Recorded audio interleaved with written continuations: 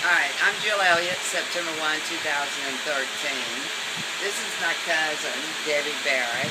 The photographer today is her handsome husband, Tom Barrett. As you all know, this is Quartus, Colorado Quartus. Uh, you'll see the other two dogs. That is Jagger and Gus. He's a golden retriever, but they'll probably be in the movie.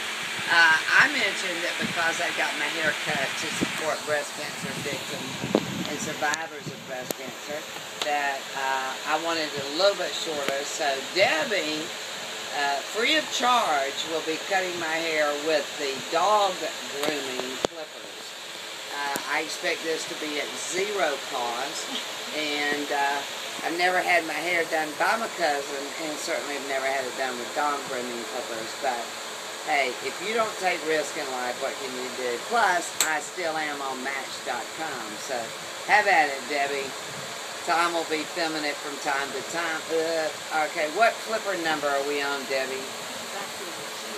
G, what does that mean? Good or gone? No, E. E for enough. enough.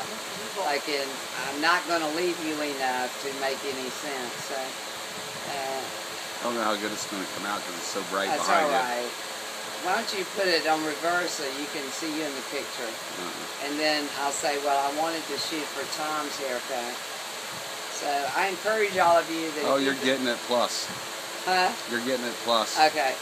If okay, I encourage all of you that if you want to save money and want good grooming, then see Debbie's mobile grooming service.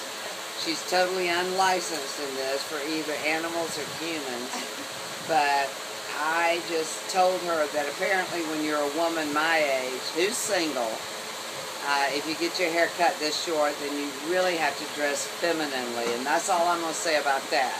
Okay. Uh, so, Tom, why don't you cut it off and we'll refilm it at the end.